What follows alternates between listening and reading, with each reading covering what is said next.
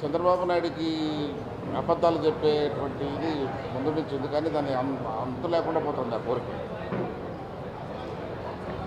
పోలవరంకు చంద్రబాబు నాయుడు గారికి ఏమైనా సంబంధం ఎప్పటి ప్రాజెక్ట్ అది? అది నేషనల్ ప్రాజెక్ట్గా ఆల్రెడీ చట్టంలో పెట్టి చేశారు.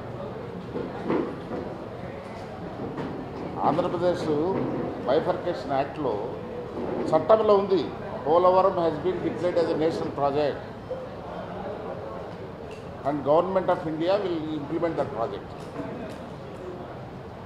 వాస్తవం అది ఉండగా నిత్యము అది నేను తెచ్చాను నేను తెచ్చాను నేను తెచ్చాను అని దానికి అర్థం పద్దు లేకుండా మాట్లాడుతున్నాను రెండవది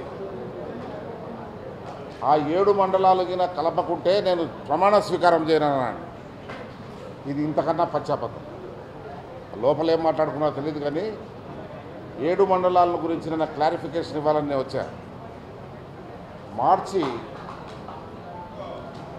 ఫస్ట్ క్యాబినెట్ అప్రూవల్ చేశారు. ఈ ఏడు మండలాలు ఆంధ్రప్రదేశ్లో కలపాలని. లేకుంటే ప్రాజెక్టు వైబుల్గా ఉండదు. మార్చి ఫస్ట్ క్యాబినెట్లో అప్రూవల్ చేశారు. స్పెషల్ స్టేటస్తో కూడా.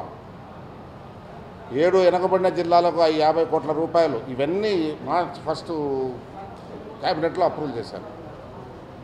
This was sent to president of India for ordinance